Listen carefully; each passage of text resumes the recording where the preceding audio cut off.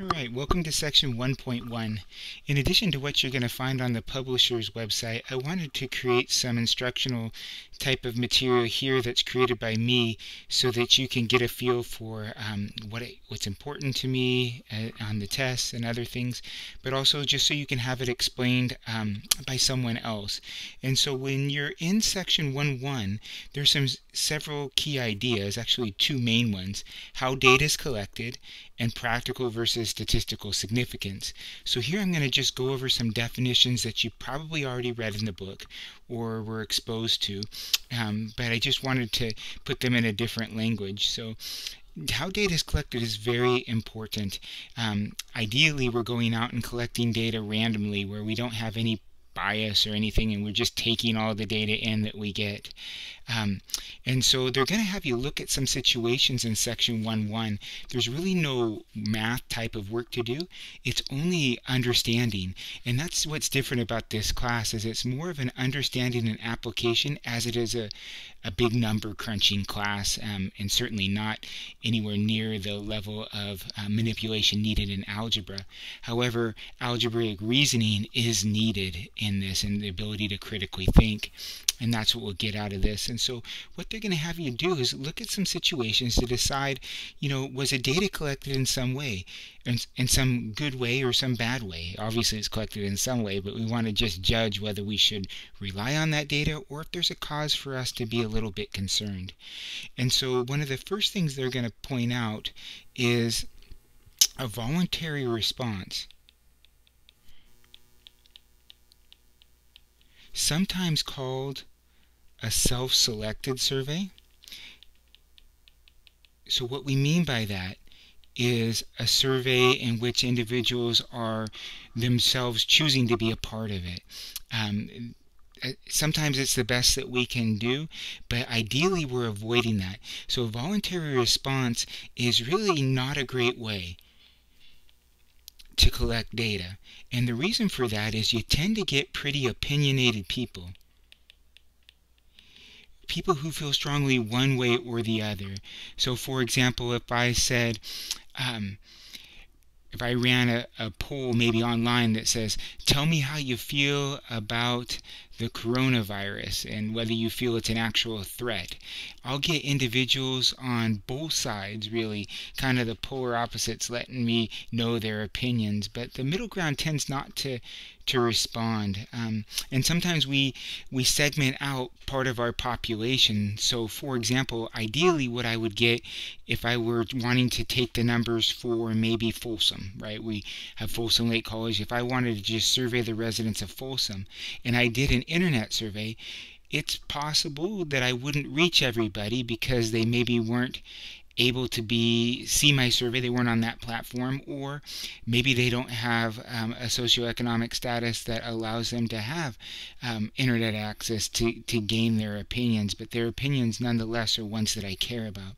And so sometimes you'll read a response in here and you'll say hey that's not good and the, the fault with this thing is that there was a voluntary response. And so we would say that that it's flawed. So flawed data means or flawed data collection is not good data collection.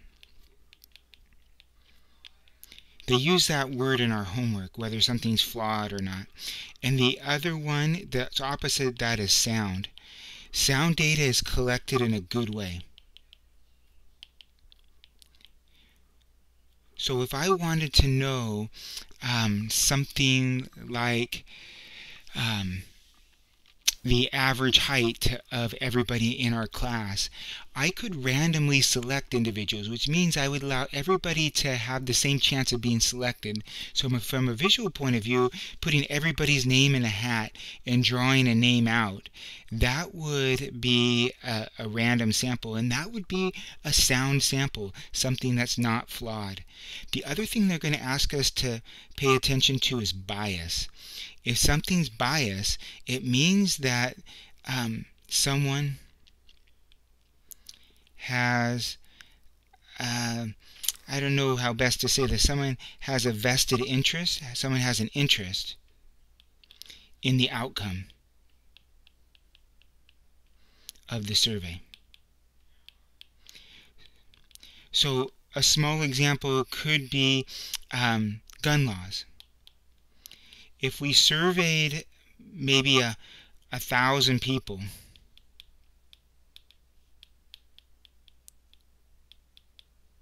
thousand people got surveyed, and we found out that 75% are in favor of um, allowing individuals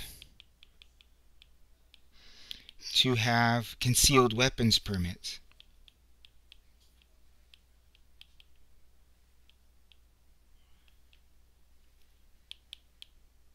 Right? And I'm just doing this to just space it out. If I found out that that survey was done by the National Rifle Association, um, I might not believe that because the National Rifle Association has a vested interest, has a particular interest in the outcome of that survey. And so they're going to have us read situations to look to see if there's bias or not. And so it's relatively small in scope. I'm hoping that it's not overwhelming as you're in there, but I just wanted to give some examples. So I'm going to leave that space blank for um, for another definition that will come. But here's a question that is in the book, and the question is really is there a bias? So here it says the Physicians Committee for Responsible Medicine tends to oppose the use of meat and dairy products in our diets. And they have received hundreds of thousands of dollars in funding from the foundation to support animal protection. And the question that they're asking is is there a potential for bias? That's what the question's asking. And we would say in that number five, yes, there does appear, yes, there is a potential for bias. We're not saying that it is bias. We're just saying that we should really look at that data because of who collected it. There's a potential for bias because the outcome of the survey or the outcome uh, for this group is to oppose meat and dairy products, but they have major funding from a foundation to support animal protection. Are they are they cooking the data and putting out an output that's in favor of who their supporters are? There's a potential for that, and so we want to look at that data. Um, the next question is asking this question Is the data sound or flawed. So again, sound data means it was collected in a good way. Flawed data means it wasn't. So let's re read this. Researchers at Yale University conduct a wide variety of clinical trials by using subjects who volunteer after reading advertisements looking for volunteers. And they're going to say that this is flawed. And you know why? Because the data was from a volunteer sample, right? If I go back up to their terminology, the data was a voluntary response, right? That guy right there, that voluntary response, all right? And so we don't that data is not as good as it could be. Now, when would it not be flawed? When would it be sound? It would be sound if they collected the data randomly or you know some type of situation drew names out of a hat anything like that would be a non-flawed or sound um, data collection now the last idea that we need to talk about in this section that comes up is something called statistical significance. And there's a wonderful definition in the book. Signif Sorry, I'm spelling things wrong here. Let me get a um, eraser here. Significance. Okay. A result is statistically significant if it happens.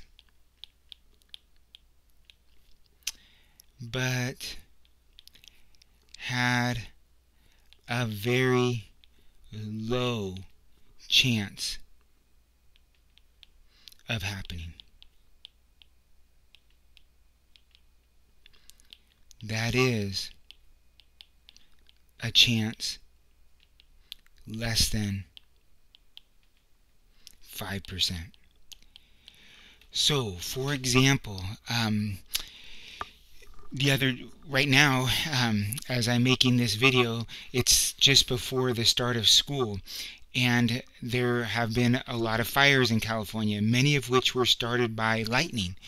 And there was a very low chance of lightning striking in the summer because we just don't typically have the rain in the summertime in California. And therefore, it was a statistically significant event for that to take place because it had a very low chance of happening. Now, they're going to let you know what the chance of happening. And that chance of happening is that chance of happening um, without any kind of influence at all going on. That's what we call statistically significant. They'll ask about practically significant. Sometimes things are statistically significant, but it doesn't make a big deal in our lives. Um, and so it's from a practical standpoint, you wouldn't change what you do, even though it's statistically significant. And you'll see those in the book. If we go down to this um, example down here, um, let me just come in here and make this a little bit wider of a space. It says in a study of the Kingman diet and exercise programs, 40 subjects lost an average of 22 pounds. That's a lot of pounds. That's practically significant, right? To lose 22 pounds in a diet there's about a 1% chance of getting such results from a program that has no effect.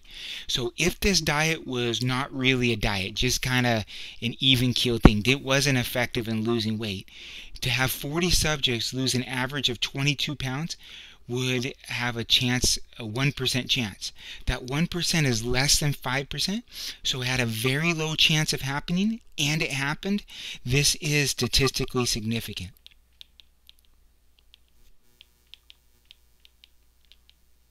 And practically significant.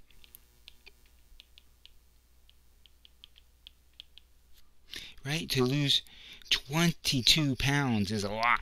And so that's where the practicality comes from. So again, let me restate that. There was a 1% chance of a group of 40 people losing 22 pounds on average. That is less than the 5% let me write it as a percentage. I was going to write it as a decimal. The 5% benchmark, right? Anything less than 5% chance of happening, if it happens, that's statistically significant. And so that's why I'm choosing to call it statistically significant. Here we had a study of 12 subjects who paid to have a course that increased their IQ.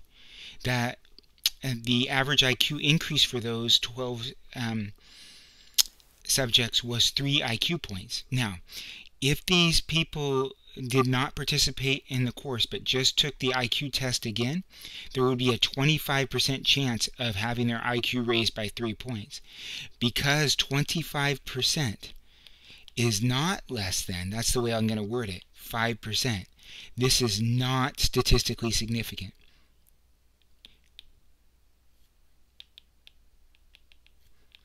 There is a high probability, right? There's a high chance, a 25% chance that just showing up and taking the IQ test again would have raised their IQ three points.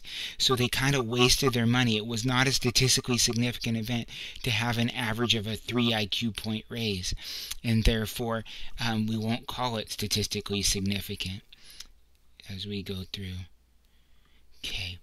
So that's kind of a a picture of what is happening in this section.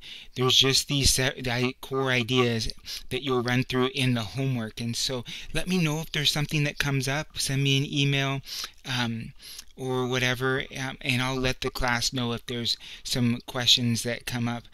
Um, that seem to be common. I'll post other videos in order to help. But I think you'll do fine in this section, but reach out if it's cumbersome.